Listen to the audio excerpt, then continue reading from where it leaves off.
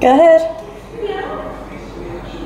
With Fiona needs to uh, use the back surgery just for two cats that she's picking up just for overnight.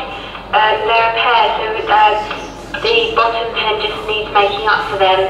Um, she won't be here time we close, and then she'll um, going to take them away tomorrow to Hillingdon. Okay, received. Um, yeah, I'll come up and do that now.